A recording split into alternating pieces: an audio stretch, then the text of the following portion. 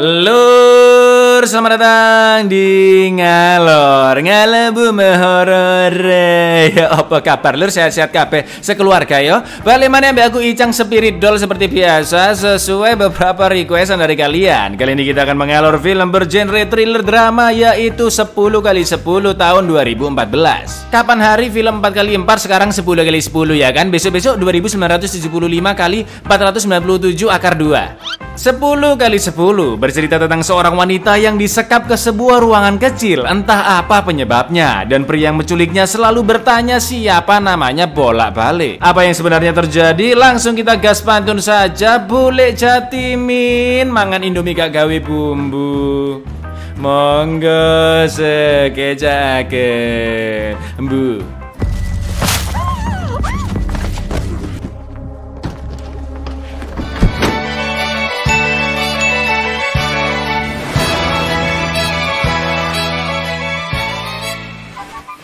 Di sebuah kota, seorang wanita pemilik toko bunga bernama Kathy menjalani pekerjaannya seperti biasa dan mampir ke sebuah kafe di seberang tokonya. Di sana dia bertemu dengan penjaga kafe bernama Dennis dan memberikannya bunga untuk istrinya Dennis yang lagi sakit. Wah, ini berarti orang baik nih Kathy ya kan? Tapi di ujung kafe tersebut terlihat seorang pria bernama Louis yang selalu memantau Kathy bahkan dari saat dia berangkat kerja. Dari tampang dan tatapannya yang sangat dingin, jelas karakter seperti ini tidak memiliki maksud yang baik dan santun ya kan? Louis pun keluar dari kafe tersebut dan menunggu di parkiran sampai akhirnya dia melihat Kathy masuk ke mobilnya dan Louis terus mengikuti Kathy yang pergi dari sana.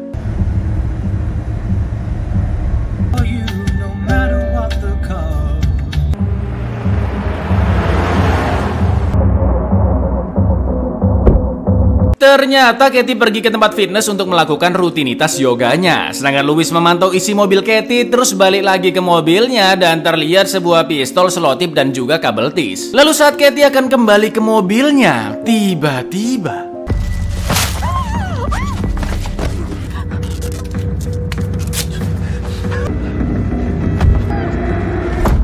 Nah kan diculik ternyata kenapa Katy diculik sabar belum dijelasin di sini lur masih jauh. Kan cut? Saat lampu merah ada mobil polisi di sebelahnya Louis dan dia berusaha bersikap setenang mungkin. Setelah menempuh perjalanan cukup jauh melewati jalanan kecil di tengah hutan, Louis sampai di rumahnya dan terlihat garasinya yang agak macet. Setelah didorong manual dan ditahan oleh sapu, Louis pun memasukkan mobilnya lalu Katy dibawa dan dimasukkan ke sebuah ruangan kecil kedap suara berdinding beton setebal empat kaki dengan tambahan pintu geser yang menyerupai tembok dan menambahkan meja serta pot di depannya agar tidak ada yang mengetahui ruangan rahasia tersebut.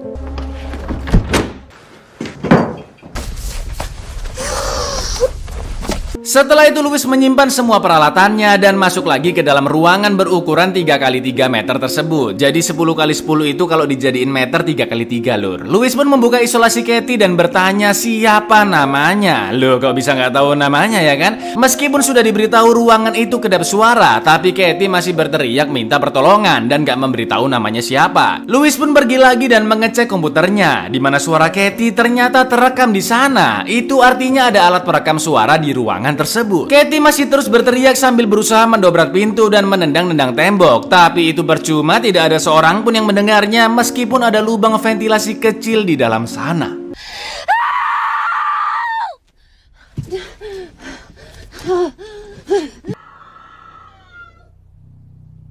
Terlihat Louis yang mengisi 5 peluru ke pistolnya, lalu dia masuk kembali ke dalam ruangan. Katy pun berjanji akan memberikan semua tabungannya sebanyak 50 ribu dolar, tapi Louis tidak menginginkan uangnya dan hanya ingin Katy memberitahu siapa namanya. Sambil menangis, Katy pun akhirnya menjawab jika namanya adalah Katy. Kathy. My name is Kathy Nolan. Mendengar itu Louis hanya tersenyum kecut lalu keluar mengecek isi dompet Katy dan HP-nya Tapi sepertinya yang dia cari tidak ditemukan. Sedangkan Katy dengan usaha yang sangat ngotot berhasil memindahkan tangannya ke depan melalui bawah kakinya. Dan saat Louis masuk ke dalam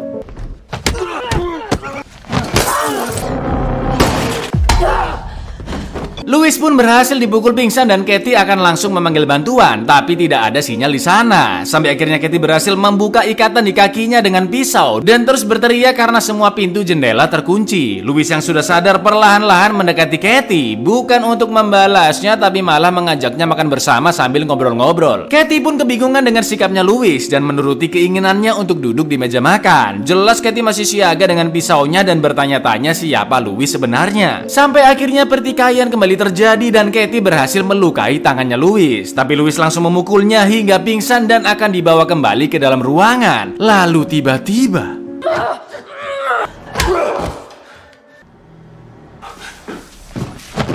Ternyata yang datang adalah mak-mak ART harian bernama Alondra. Meskipun Alondra khawatir dengan kondisi rumah yang berantakan dan tangan Louis yang berdarah, tapi Louis bilang jika, oh enggak ini baik-baik saja dan hari ini aku masih belum butuh bantuanmu, kata Louis. Alondra pun akhirnya pulang dengan tatapan curiga dan akan datang lagi esok hari. Setelah itu Louis membereskan barang-barang pecah belah dan mencuci pisau yang masih ada noda darahnya.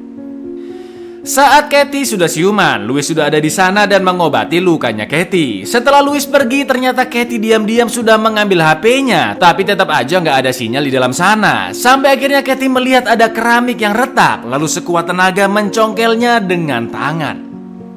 Di lain sisi, terlihat Louis yang selalu memantau perkembangan berita tentang meninggalnya tiga orang pasien. Di mana kasus tersebut sudah lama ditutup, tapi pihak keluarga masih yakin penyebab kematiannya bukan karena penyakit, melainkan karena penyebab yang tidak wajar. Lalu Louis kembali masuk ke dalam ruangan dan menanyakan hal yang sama, siapakah namamu? Katie pun bilang, aku sudah bilang bolak-balik kalau namaku Katie, Katie namaku. Lalu Louis bertanya TTL-nya Katie, sekolahnya di mana, perjalanan karirnya, punya saudara apa enggak, dan pekerjaan pekerjaan orang tuanya Udah kayak wawancara kerja lur. Katie pun menjawab dia lahir tanggal 15 Februari di California Sekolah jurusan bahasa Inggris Lanjut kerja di perpustakaan Terus akhirnya buka bisnis toko bunga. Katie adalah anak tunggal Ibunya pensiunan suster Dan ayahnya kerja sebagai staf di tim football. Tapi kedua orang tuanya sudah bercerai Dan ayahnya telah meninggal dunia Kata Katie. Hmm, Dengan tersenyum sinis Louis mengatakan Jika dia sudah mengawasi Katie selama berbulan-bulan lamanya Dan hampir semua jawabannya tadi adalah sebuah kebohongan. Louis pun kembali mengulangi pertanyaan di mana Katie dilahirkan. Tapi karena Katie masih nggak mau jawab jujur, lo langsung ditembak sebelah endasnya dan Katie yang ketakutan pun akhirnya menjawab dengan jujur.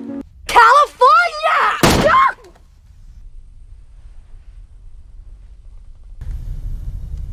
Green Bay, Wisconsin. Ternyata Katie dibesarkan di gereja dan mendalami ilmu kesusteran. Ayahnya adalah dokter dan ibunya seorang suster. Lalu mereka bercerai karena ayahnya berpaling ke seorang wanita cheerleaders. Katie juga punya seorang saudari kembar yang sudah gantung diri karena sakit hati melihat kelakuan ayahnya. Louis pun kembali menanyakan pertanyaan pertamanya, siapa nama aslinya Katie? Karena dia tahu Katie adalah nama saudari kembarnya, bukan nama dia. Lo, lo masih nggak mau ngomong dikasih tembakan peringatan lagi sama Louis sampai akhirnya dia menjawab bahwa nama aslinya adalah Natalie Ann Stevens. Come on!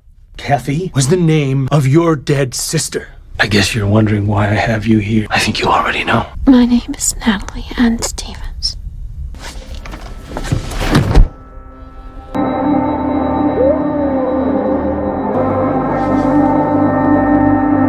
Pasti kalian masih bingung kan Don? sabar, sabar. Natalie pun melanjutkan menyongkel keramik sampai tangannya berdarah. Tapi karena masih belum berhasil, Natalie mencari sinyal lewat ventilasi dan akhirnya terhubung ke 911. Tapi ya gitu masih putus-putus lur. Natalie mengatasnamakan dirinya adalah Katie dan meminta polisi melacak ponselnya karena dia sedang disandra. Entah pihak kepolisian bisa mendengarnya atau tidak. Sedangkan Louis melihat videonya yang sedang menggendong putri kesayangannya saat masih bayi dan direkam oleh istrinya. Sampai akhirnya Louis sadar handphone Natalie nggak ada di tasnya. Wah langsung dia mendatangi Natalie dan merusak handphonenya. Lalu Louis kembali bertanya di rumah sakit mana saja dia pernah bekerja sebagai suster dan berapa jumlah pasien yang tewas di bawah penanganannya. Di sinilah misteri akhirnya terkuak lur. Natalie pernah bekerja di rumah sakit Angel Charleston, di mana istri Louis yang bernama Alana adalah salah satu dari tiga pasien pasien yang telah meninggal 4 tahun yang lalu. Dan mereka bertiga berada di bawah penanganannya Natalie. Awalnya Louis percaya diagnosa kematian istrinya karena suatu penyakit. Tapi lama-kelamaan kok banyak fakta yang janggal ya kan? Seperti cincin kawin yang terlepas padahal Alana nggak pernah melepasnya. Dan darahnya dipenuhi oleh obat yang tidak seharusnya. Maka dari itu, Louis tahu betul istrinya dan dua pasien lainnya telah dibunuh oleh Natalie. Dan kasus inilah yang menyebabkan Natalie pindah kerja membuka bisnis toko bunga. Sekarang Louis ingin tahu apa alasannya Natalie membunuh dan jika Natalie tidak memberikan alasan yang memuaskan maka Natalie akan langsung dibunuh saat itu juga. The court found no negligence with the hospital. And then there was John Lamptey. He died of. He passed his medical insurance. My wife's missing wedding ring. She never took it off. Good enough explanation, Natalie. You will die. Setelah Natalie diberi waktu untuk berpikir, Louis pun kembali melihat video kebersamaannya dengan Alana dan putrinya Summer yang sudah berumur 4 tahun. Wah, lihat video-video itu makin jadi emosinya, Louis pun kembali masuk ke ruangan dan akan menembak Natalie. Tapi Natalie memohon ampunan ke Louis. Dia akan mengaku dan akan mengatakan alasan kenapa harus membunuh ketiga pasien tersebut. Siap-siap plot twist ya, Lur. Say hello to the family. Hello. To happy Thanksgiving, Mom and Dad. We love you.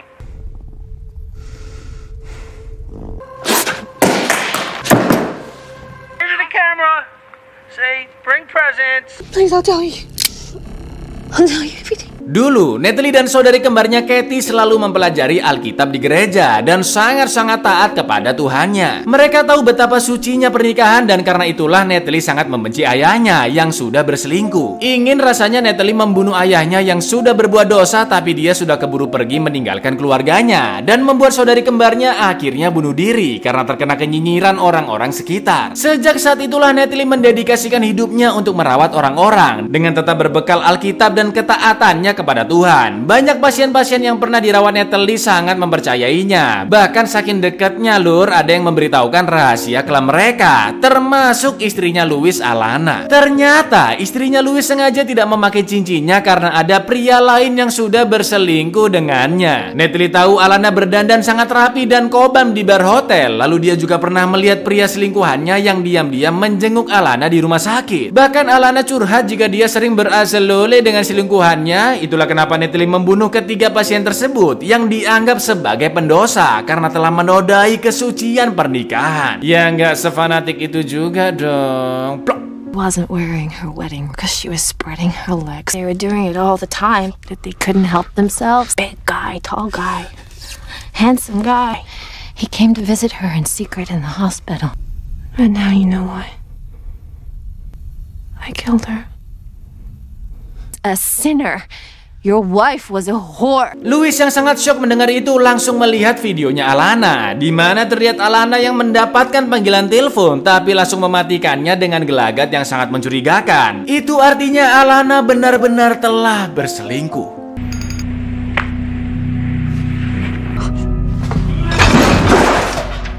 Karena hatinya sangat kalut, setelah itu Louis pun pergi menenangkan diri di pinggir danau. Sedangkan Natalie masih terus mencongkel patahan keramik dengan tangannya yang semakin berdarah dan akhirnya berhasil. Lagi enak-enaknya galau lihat pemandangan, tiba-tiba dua polisi datang karena curiga dengan luka-lukanya Louis dan meminta surat-surat mobilnya. Setelah surat-surat dicek aman, polisi minta bagasi dibuka dan untungnya hanya ada sepatunya Natalie. Dengan tenang Louis pun beralasan, "Oh, ini sepatu istriku, Pak." Dan mereka berdua pun akhirnya pergi dari sana.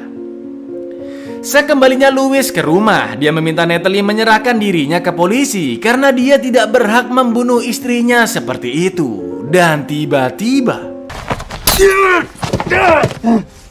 And you expect me to give it all up for you?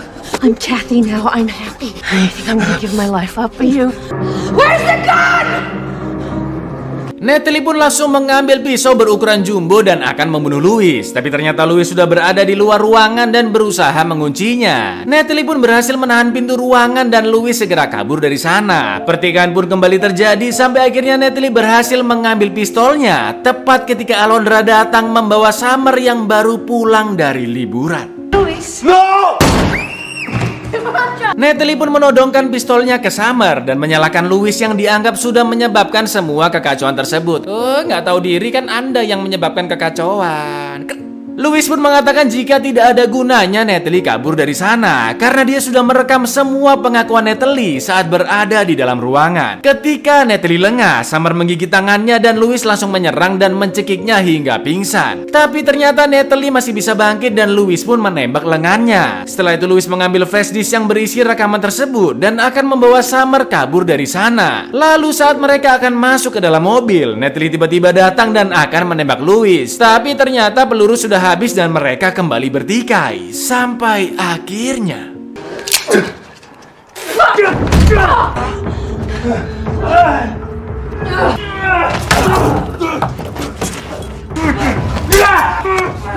I'm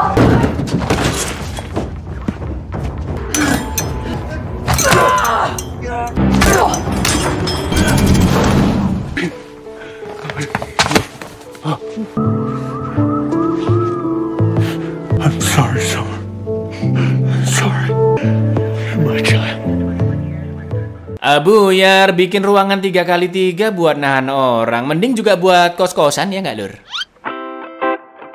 Awalnya aku iba sama Natalie ini lur. Kasian ya kan seorang wanita yang ceria, ramah dan gak salah apa-apa kok dikurung. Lah tapi ternyata udah bunuh tiga orang dong. Mau pakai alasan apa kayak tetap aja gak berakhlak dan gak berperi kemanusiaan. Pesan moral dari film ini adalah Janganlah kamu terlalu fanatik dengan apa pun Karena fanatik adalah awal dari tertutupnya hati dan pikiran anda terhadap suatu kebenaran. Itu Ya wes gitu dulu lur, aku Icang undur diri, matur nuwun dan Seno untuk tidak mau mengakui kesalahan. Bahasa yes untuk di bawah ini. Assalamualaikum lur.